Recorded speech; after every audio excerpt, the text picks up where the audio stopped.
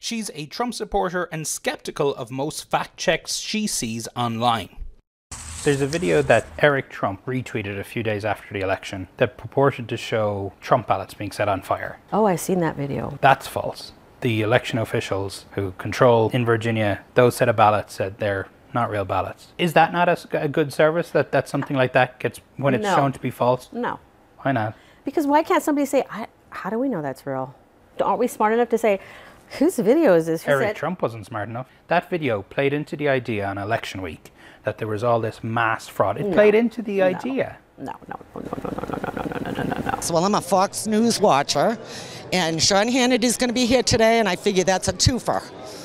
I love Sean Hannity. I don't really think anybody actually has a, a fair enough answer because, yes, there's the right and the left. I try and read CNN and then read Fox and then try and figure out my own middle ground. mostly on the off the web, social media, Fox News. Uh, there's a couple of websites that we'll go to that after you watch them for a while, you can tell if they're doing a decent job, a straight job of reporting the news.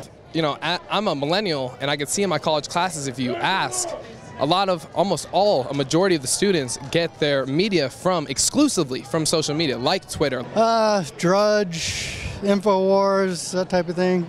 Well, yeah, the real question is who are these 29%? I mean, I, I'm, I'm surprised anyone thinks we're going in the right direction. I- you know, you talked about energy, but you could go down the list, Rob. I mean, I, we went from under Trump to a secure border to now we have complete chaos on our border. We went from energy independence and gas at $2 and something a gallon to now where we have the spectacle. I mean, the spectacle of the President of the United States begging OPEC to increase production. We went from safe streets to rising crime because Democrats defund the police. We went from being respected around the world to the debacle that was the exit from Afghanistan, and on and on we could go. So I'd like to know who these 29% are.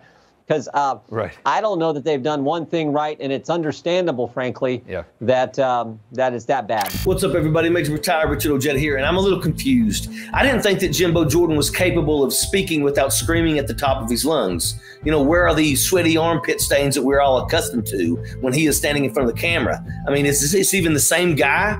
Folks, the truth is, is that this is all an act, and it's always been an act. This guy uses national spotlight to earn brownie points with Trump and his sea of brainwashed racist followers.